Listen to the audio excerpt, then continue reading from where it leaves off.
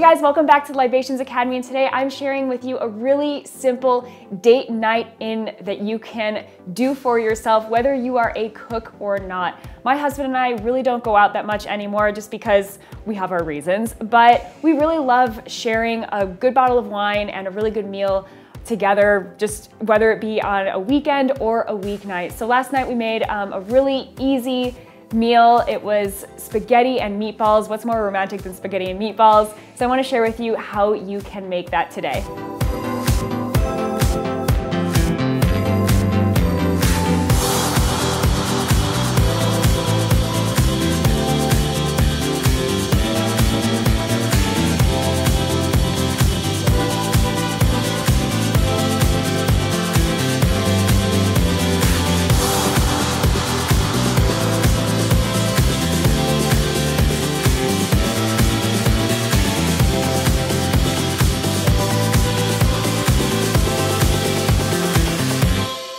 So it's very easy to make meatballs. You just mix everything together and make little meatballs and then saute them in a pan. And when you are finished sauteing them, that's when you can start the sauce. And it's seriously as easy as getting a really high quality can of tomatoes, butter, and an onion. No joke, like it's really this easy to make good tomato sauce from scratch. You just add the tomatoes, butter, and onion to the pan where the meatballs were in and let it simmer for about 30 minutes. And while you're doing this, this is when you can start the pasta. Now, if you feel really ambitious, definitely make your own pasta at home. I was not feeling ambitious that night though, so I just bought store-bought pasta. It was very easy. And so you can really make this as easy or as hard as you want.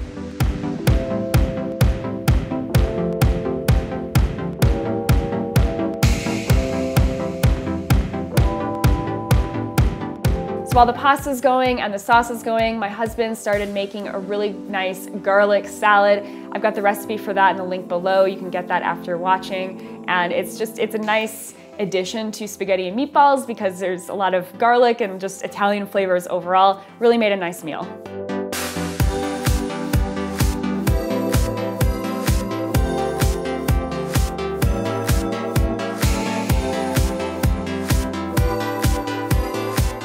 So now into the wine pairing. I don't think there's anything better with tomato sauce than the Italian grape Sangiovese. It's got amazing acidity, which just really pairs well with the acidity of tomatoes that other wines really can't match up to. So many Sangioveses come from the Chianti region in Italy, so you seriously should be able to find a Chianti or a Sangiovese-based wine at any of your wine shops, grocery stores, liquor stores. They really are everywhere, so it's not a hard wine to find, and it really pairs well with spaghetti and meatballs, just perfectly. It's like always my go-to wine. I can, I always have to have it at my house.